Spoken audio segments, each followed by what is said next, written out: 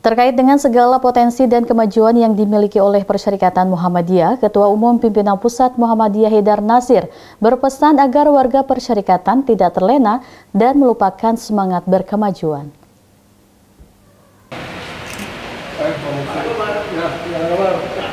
Ketua Umum Pimpinan Pusat Muhammadiyah Hairan Nasir berpesan agar warga jangan merasa sudah unggul dan maju, kemudian semangat berkemajuan yang selama menjadi jiwa Muhammadiyah.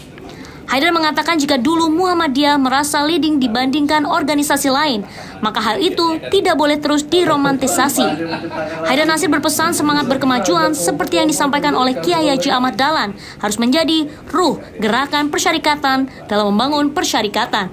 Dalam pandangan guru besar sosiologi ini, alih-alih berkemunduran, Muhammadiyah stagnasi atau berjalan di tempat saja seharusnya tidak boleh terjadi. Haidar menekankan jangan sampai Muhammadiyah bernasib sama dengan banyak organisasi yang lahir bersamaan dengan Muhammadiyah dan namun saat ini tidak ditemukan lagi jejaknya.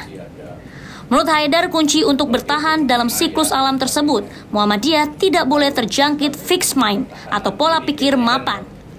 Padahal gelombang realitas kehidupan terus menaik dan dinamis, tidak melulu fixed mind.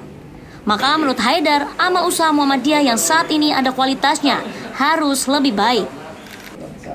Bukan hanya menjaga dan meningkatkan kualitas, Haidar juga berpesan supaya di banyak daerah untuk menambah kuantitas aum sebagai upaya untuk memajukan umat, bangsa, dan kemanusiaan universal. Tidak boleh hanya ada, aum harus unggul dan juga berkemajuan. Tim TVMU memberitakan.